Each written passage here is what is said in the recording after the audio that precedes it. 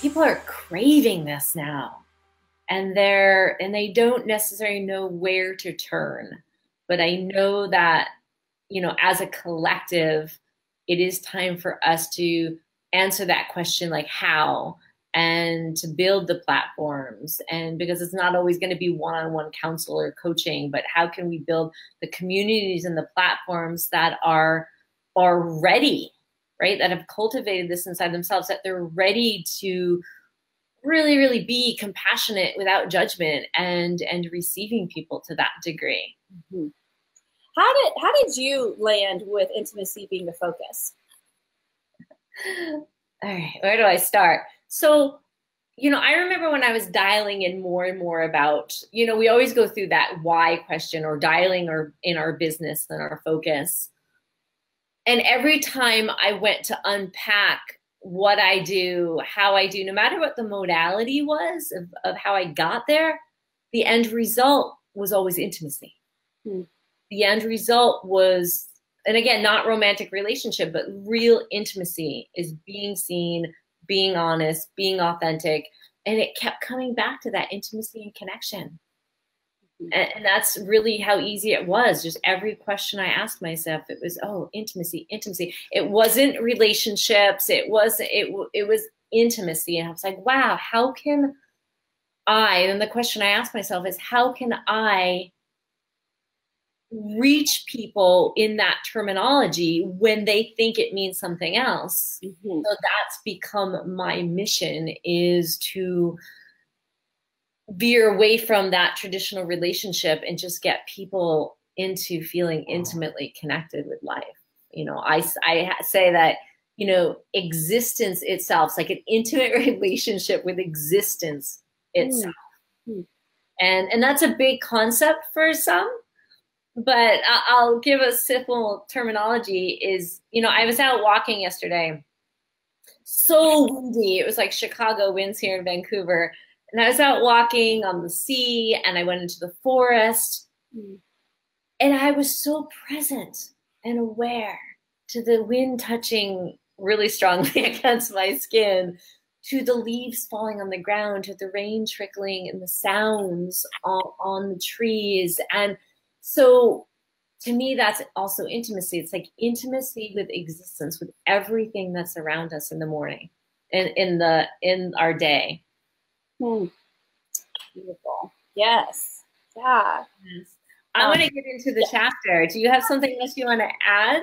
No, no, no. I, I just love love hearing where where your come from is. It's just great, and it reminds me so much of that evening that we had in Vancouver, just talking and being able to share our work and um, and share the experiences that we've had. It's it's just so lovely what you're what you're putting out in the world.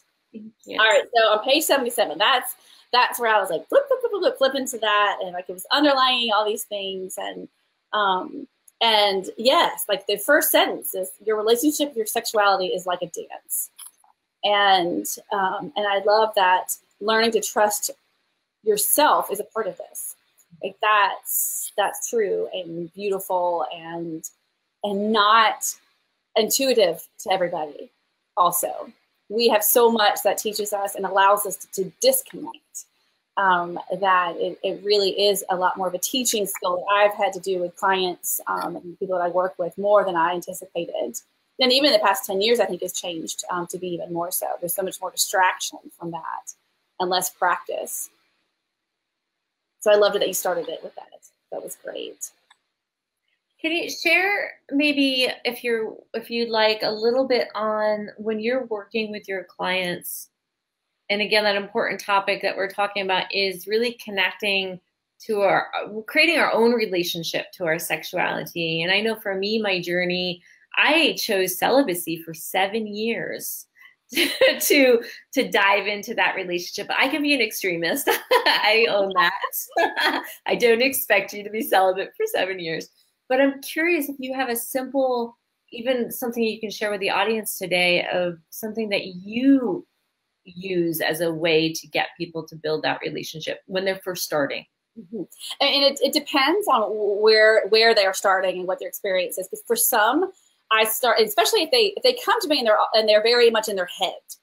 um, then I meet them where they are so that it's not as scary and and they have more of a comfort level. So for someone like that, I typically will start with their history, and you do that in this book too about where does your sexuality come from, and and I have that be a very heady examination that feels safer and it's still very valuable information. And i always do it as a part of the self-examination but it depends on when and where it is. Uh, depends on the person um, and for others, I I do a form of sensate therapy that's to yourself that I ask them over and over again, what do you like? What do you want? And have it be as non-sexual, um, stereotypically non-sexual as possible. And do like is that you know, as I know you know, with the tantric view of touch and do air and water and fire and earth and see what those things mean. And I had them do it like if they want to be on their sternum or if they want to be on their hand and I keep asking over and over again, what to what do you like? Try different rhythms, try different firmness of touch, um, different places with oil, without oil, and just learn what that's like to be present. And I ask lots of questions of what were you wearing? Where were you? What were the sounds like? What did you do to prepare yourself for this? Did you jump into it? And I see what is, do they have a conscious practice to begin with? Um, or is it just like just is it is is the biggest thing to even do it? And and and from what how they answer that is where we go. If they don't have a jumping in point then i help them create a ritual which i know you have in the book too about having a ritual with that. Um, if it just feels like comfortable touching themselves in a non-sexual way then we focus on that and what that means and where is that where is that coming from and what's the benefit of it? Um, and and see see it, but once once you get that part in, which I found is like we're we're ultimately heading to that thing in the middle. Uh, it, it almost doesn't matter where what road we begin in.